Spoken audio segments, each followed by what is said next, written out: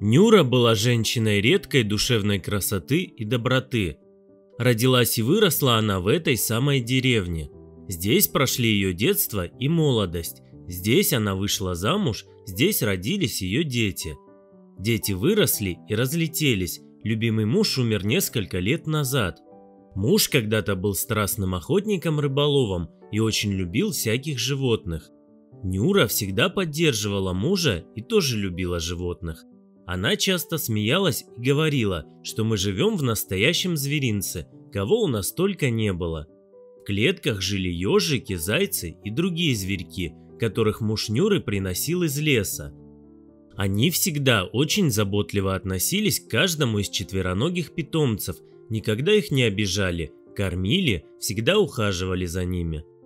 Животные обычно очень быстро привыкали и становились почти ручными. Из домашних животных у них были только кролики. Также было с десяток куриц и два петуха. Один петух всегда на Нюру бросался, когда она заходила их кормить. Кроме животных было много птиц, и не только домашних, но и лесных. Муж сам мастерил огромные клетки, в них жило множество синиц, щеглов и других певчих птиц. Каждое утро, как только солнце поднималось из-за горизонта, в клетках стояло чириканье, свист и щебетание. Птицы весело порхали по клетке, прыгали с ветки на ветку, как будто переговариваясь друг с другом. Нюра помогала мужу менять корм на свежий, наливать чистую воду. А вот лесные птички у них жили только зиму, а в начале весны их всегда выпускали, не домашние ведь они – Первый теплый солнечный по-настоящему весенний день был самым любимым праздником. Именно в этот день Нюра с мужем широко раскрывали дверцы клеток и выпускали птиц. Как было красиво и радостно, когда птицы вылетали на волю и щебечущей стаи разлетались по саду. Всем нравилось за ними наблюдать, как они садились на ветви яблонь и груш, чистили свои перышки и пели песни – а какие сладкие и сочные фрукты и ягоды росли на деревьях и кустах в их саду, яблоки, груши, вишни, сливы и черешня. Нюра пекла очень вкусные и сочные фруктовые пироги, а потом угощала ими всю деревенскую ребятню. Когда мужа не стало, дом Нюры осиротел. Птицы были выпущены на волю и остались только главными и любимыми жильцами ее дома старенькая собака Тишка и толстый кот Жорик. Как-то раз пошла Нюра в лес за грибами, только вместо грибов принесла в корзинке маленького дикого поросенка. Остался он один без матери и в лесу бы не выжил один. Вот как бросишь такого на верную смерть, рассуждала Нюра. Все село потешалось над ней, ну да, кабана у вас еще точно никогда не было. Стала женщина кабанчика кормить, разговаривала с ним как с человеком, а он ходил по двору хвостом за своей спасительницей. Пока он был маленьким поросенком, это было забавно, но поросенок скоро вырос и превратился в огромного кабана, который так и продолжал ходить за Нюрой, как хвостик по всей деревне. Местные привыкли к такому зрелищу. Кабан был добряк, мог запросто зайти в любой двор, где его с удовольствием чем-нибудь угощали – кто яблок ему принесет, кто кукурузу. От угощений Валера никогда не отказывался. А с котом у них так вообще дружба была. Бывает, завалятся оба во дворе в пыли и спят целый день. Валера на боку, а сверху Жорик. Кот мог часами вылизывать Валеру и наводить чистоту до первого же похода кабана в ближайшую лужу. Потом начиналось все сначала. Вот такая была сельская идиллия. Есть у некоторых людей страсть какая-то, знать все обо всех, причем не расспрашивать, а именно вынюхивать втихаря, подглядывая, подслушивая и делая свои выводы.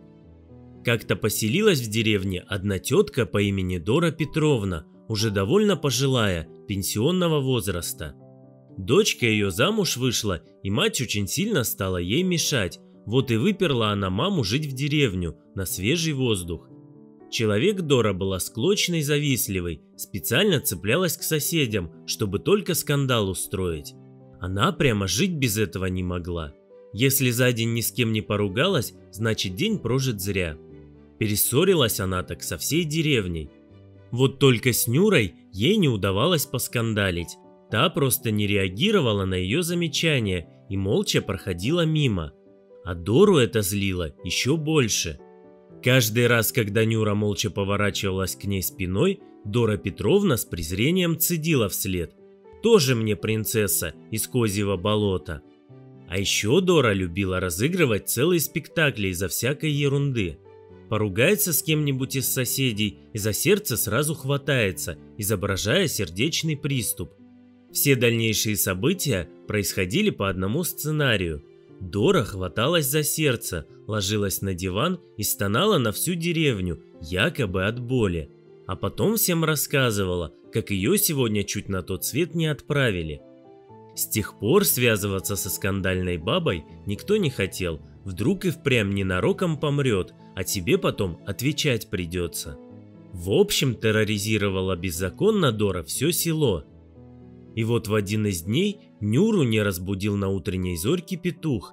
Женщине показалось это странным, а войдя в курятник, она обнаружила его мертвым. Погоревала Нюра, но что поделаешь, всякое случается в жизни – Через несколько дней все повторилось, не стало двух любимых курочек. Через какое-то время опять то же самое, но уже с кроликами.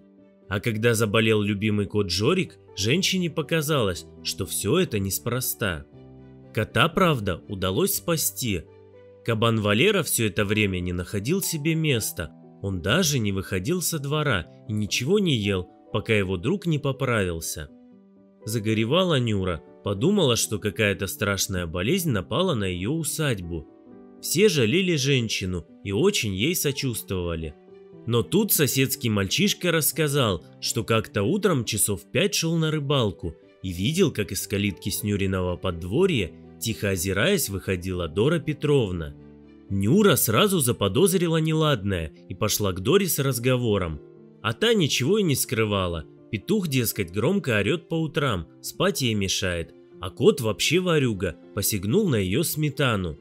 Но то, что намеренно травила она Нюриных питомцев, не призналась. Понимала, что можно за это и под суд попасть. Шло время, затеяла как-то Дора на своем участке строительство. Решила сарайчик построить, баньку подлатать и старую выгребную яму, что в дальнем углу двора почистить.